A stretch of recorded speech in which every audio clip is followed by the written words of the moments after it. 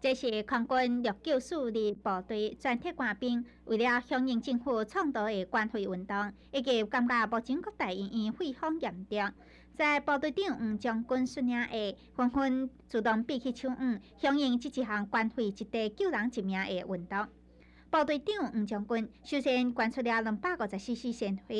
该部队有两百多名的官兵，今仔日捐出了鲜血五万外 CC，交予关怀中心，充分表现出关爱民的精神。